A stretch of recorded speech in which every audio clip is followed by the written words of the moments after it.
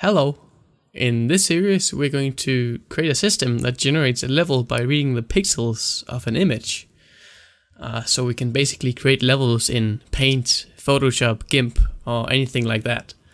Um, so this is inspired by a, GIF I uploaded over a year ago, where, where I showed off this system that generates a level like this for my game Portals.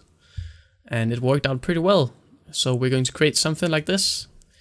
Um, so let's get started. So first off, I quickly want to explain how we're going to come from this to this. Well, actually, it's pretty simple. We'll make Unity go through every single pixel of this image. And if the pixel has some specific color, we'll put some specific object on that pixel. So for example, if the pixel's color is black, we'll put a tile on that pixel. And if the pixel's color is red, we'll put some other object on that pixel. Now we'll make a system where you can define what colors and what objects you'll spawn on those colors should be.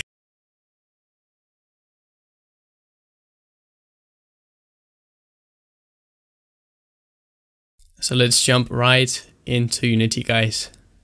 So now we're in Unity, but we're not going to code just yet. We just have to set some things up first. So let's set the folders up. So right click over here at your project pane and let's call this folder scenes. Let's make another folder. Let's call this graphics. Another one, prefabs. Why does it do that? Um, and scripts. Cool. Now let's first import our tile set or tile sheet so we can have some tiles. So let's just drag this sheet into Unity. You can of course download it in the description. Um, so let's just set the sheet up. Uh, uh, set the sprite mode to multiple because there are multiple sprites in the sprite sheet. And let's set the pixels per unit to one. So one pixel is one unit in Unity, and that's pretty important. You'll see why. Make sure filter mode is set to point and compression is set to none. And let's just apply this and go into the sprite editor and slice this up.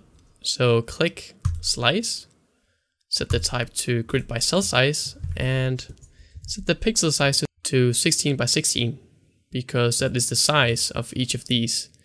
Click slice and now we have some sliced tiles. Cool. Click apply and let's get out of here. Um, so let's create the actual tile object prefab thing. So drag a tile into your scene like this. And let's name this tile.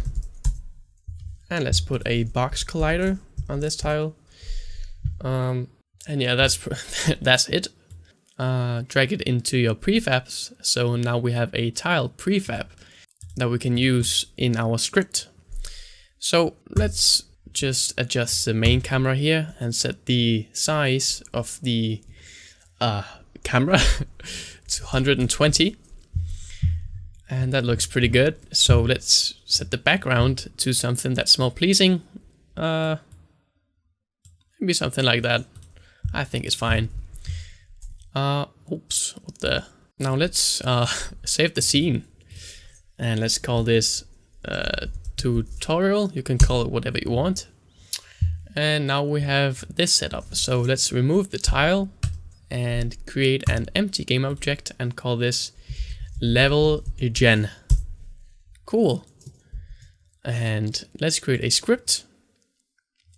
So right click on your scripts folder, create C sharp script.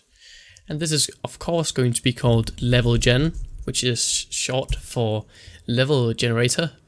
And let's drag it over on the level gen. Cool. Before we begin coding, let's first create the actual level in Photoshop. Now, um, you can use whatever software you'd like. You can even use Paint if you wish. So let's create a new file. Let's call this level. And the width and height of this file is the amount of tiles that'll be in the in the level. So it will be 16 by 16 tiles big this level. So let's press OK and create our level.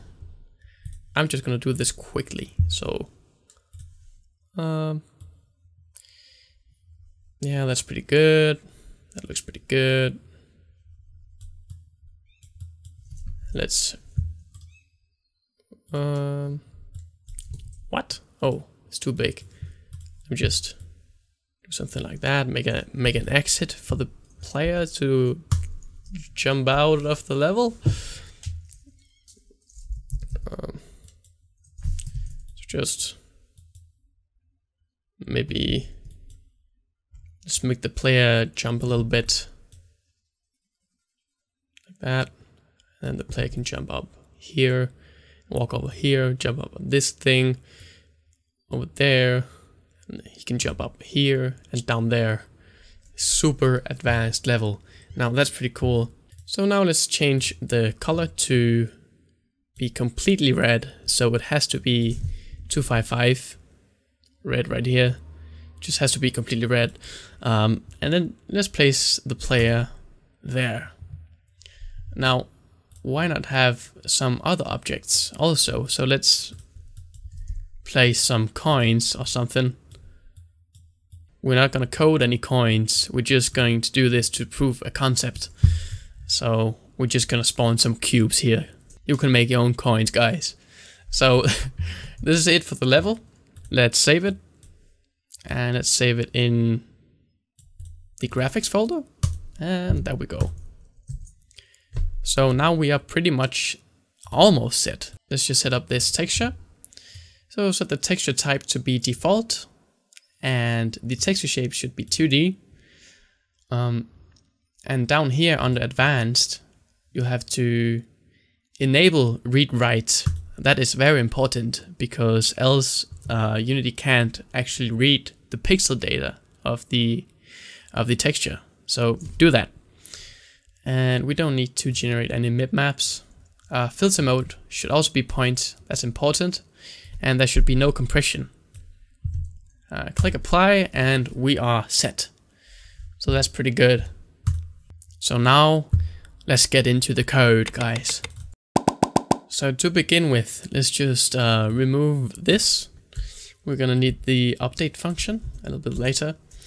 Um, and we're gonna declare some variables to start with. So the first variable, a public texture 2D, uh, texture to generate from. Now that name should explain what this variable is. Uh, so let's continue to the next variable, and that is going to be a public game object tile prefab. And now we need some sprites. So we're gonna create some arrays of sprites. So let's say sprite, and these brackets right here means they are arrays, basically. So this is going to be called blank tile sprites.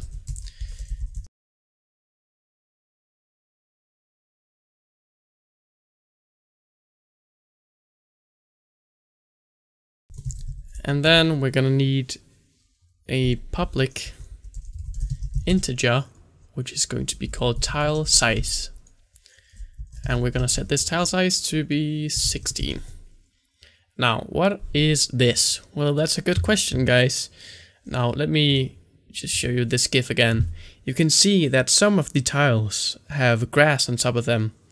And we're basically gonna set the sprites of the tiles through code so we can put this grass on top we're gonna get to that later. Um, and then the last thing we need for now is a public list of game objects. And that is going to be called tiles created. Now in this update function, we will just check if we press a key down. So input dot get key down key code dot uh, g for generate, of course, and let's call a function called generate level. Now, this function is not created yet, so let's create it now. Oops, There we go. And in here we're just gonna say print uh, generating level.